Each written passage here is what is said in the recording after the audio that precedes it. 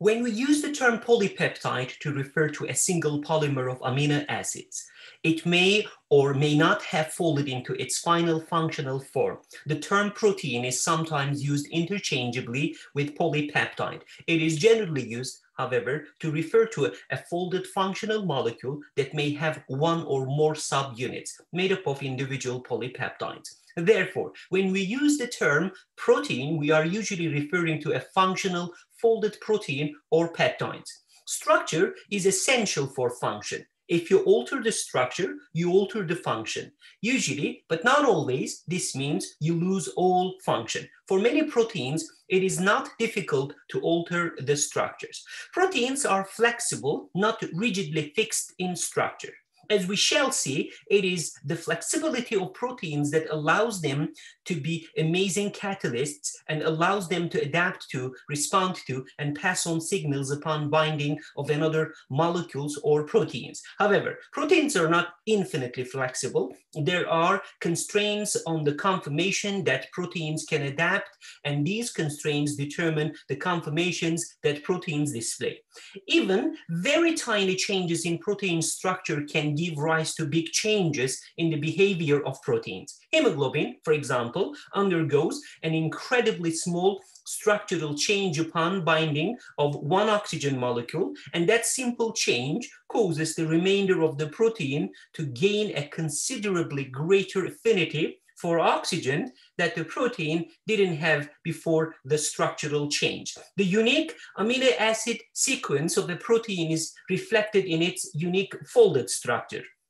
This structure in turn determines the protein's function. The significance of the unique sequence or order of amino acids is that it dictates the three-dimensional conformation the folded protein will have. We shall examine protein structure at four distinct levels. Some, part, some parts of a peptide chain containing 100 to 200 amino acids may form a loop or helix, others may be straight or form irregular coils. The term secondary, tertiary, and quaternary structure are frequently applied to the configuration of the peptide chain of a protein.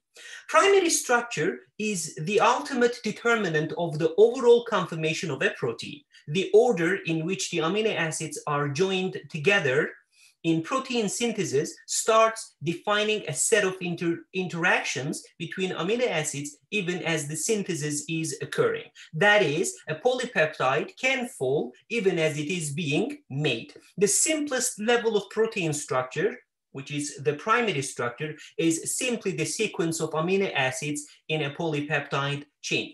Let us take a very famous protein from the human body, the hormone insulin, which has two polypeptide chains in the primary structure.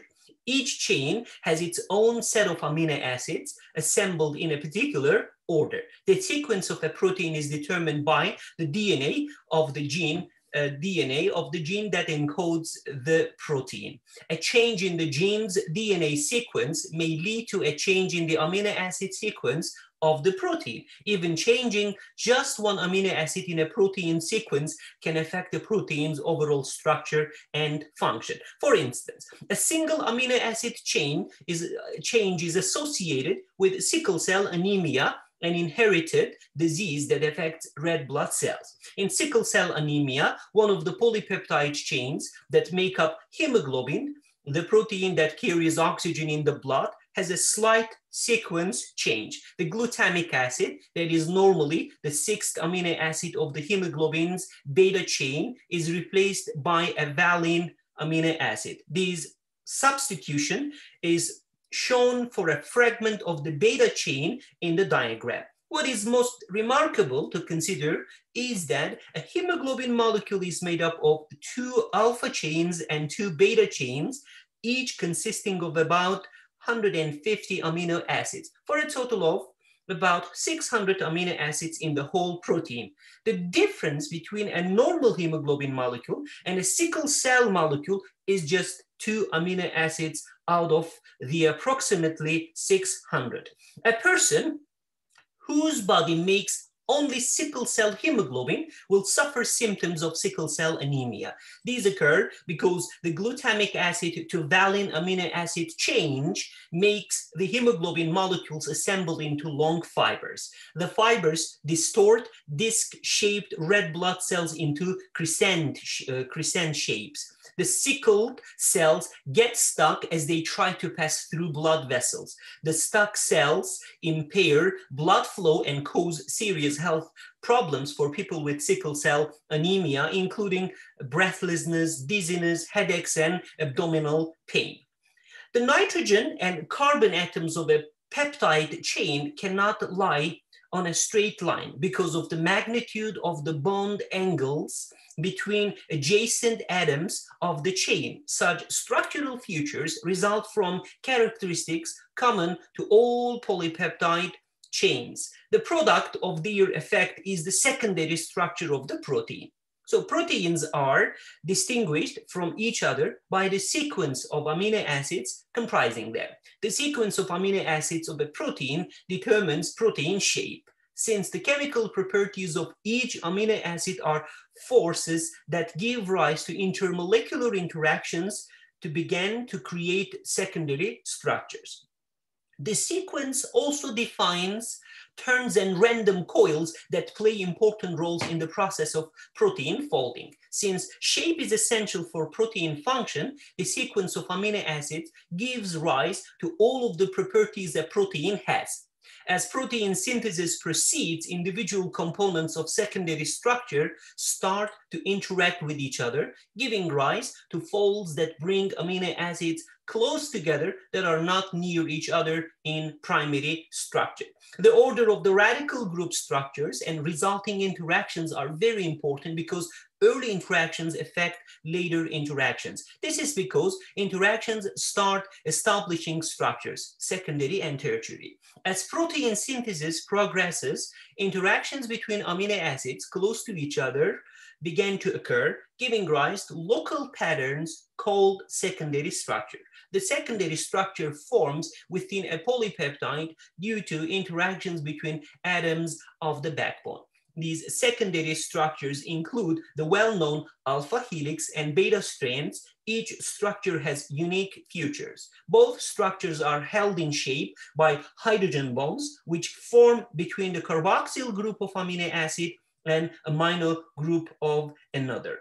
The alpha helix has a coiled structure with 3.6 amino acids per turn of the helix. So five helical turns uh, are formed are formed by 18 amino acids. In the alpha helix, hydrogen bonds form between carbon to oxygen groups and nitrogen and hydrogen groups in the polypeptide backbone that are four amino acids distant. These hydrogen bonds are the primary forces stabilizing the alpha helix. The stability of an alpha helix is enhanced by the presence of the amino acid aspartate. A helix is, of course, a three-dimensional object. A flattened form of helix is two dimensions in a common description for a beta strand. Rather than coils, beta strands have bends, and these are sometimes referred to as pleats, like the pleats in a curtain. Beta strands can be organized to form elaborately organized structures. In the beta pleated sheet, the pleats are formed by hydrogen bonding between atoms of the backbone of the polypeptide chain. Higher order beta strand structures are sometimes called supersecondary structures since they involve interactions between amino acids not close in primary sequence. These structures too are stabilized by hydrogen bonds between carboxyl oxygen atoms and hydrogens of amine groups in the polypeptide backbone.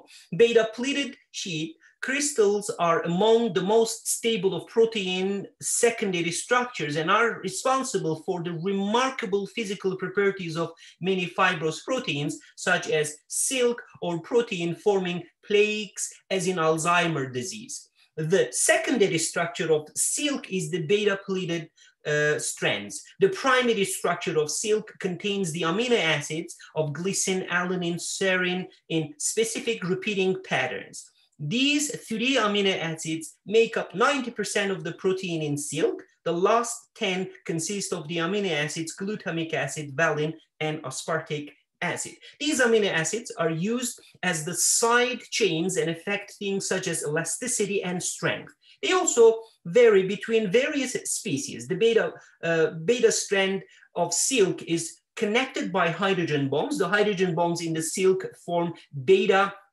strands rather than alpha helices because of where the bonds occur. Silk is a great example of the beta strand uh, secondary structure. The formation of the secondary protein structure in silk allows it to have very strong tensile strength. The stiffness of silk, which is its ability to deform elast elastically when force is applied. It is many times less than that of steel, where spider silk seems to beat steel by a large margin, uh, is its density, which is almost six times less. Essentially, that means a strand of silk is much stronger for its size than a steel beam is. Thanks for watching.